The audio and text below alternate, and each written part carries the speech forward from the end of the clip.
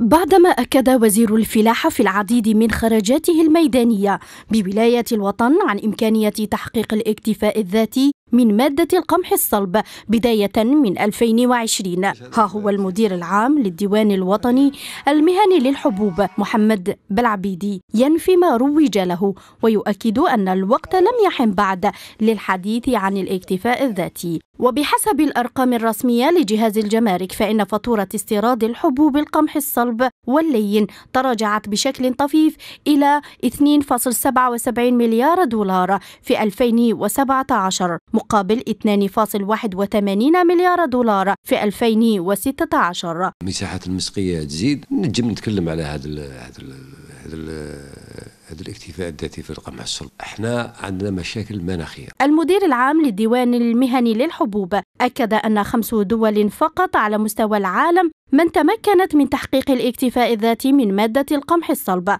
ومع هذا يقول بالعبيدي الجزائر تعمل على تقليص من حجم الاستيراد. على الاكتفاء الذاتي الاكتفاء الذاتي في مادة الحبوب على مستوى العالمي توجد في خمس أو ربع بلدان.